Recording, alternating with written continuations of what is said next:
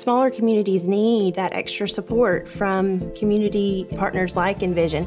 They're making it easy for teachers to provide those kids with the experience that they may not ever get an opportunity to have.